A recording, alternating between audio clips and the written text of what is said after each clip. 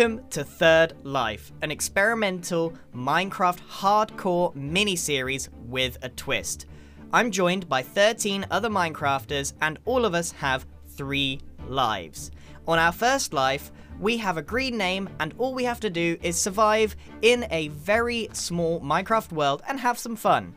When we die, our name will change to yellow. Now this is okay, but we're in hot water, because if we die again, we will be on our third life. Now this is where it gets interesting, because if you're on your third life, your name turns red, and your goal changes. You then become hostile and have to take out everyone else's lives on the server. And if you die in your third life, you enter spectator mode, and the series is over for you. This is going to be a lot of fun, so let's jump in.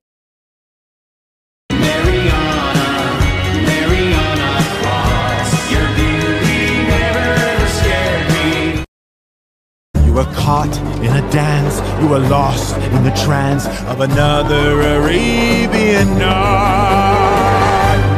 Arabian nights, like Arabian days. Scar is on his red name. There he is. Oh my goodness, he looks like a robot. So, my plan for today is to help Scar in his endeavour to get some kills. I don't know who he wants to focus. In fact, I need that bit of water. But we've got a busy day ahead of us. Let me be clear.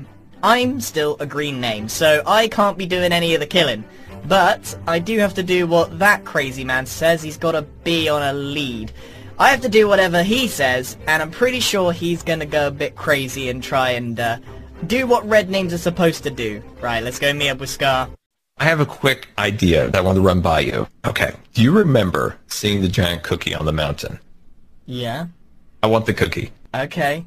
Your Where? job, your job is not to steal cookies. Your job is to take everyone else's lives. No, I really want the cookie. All right.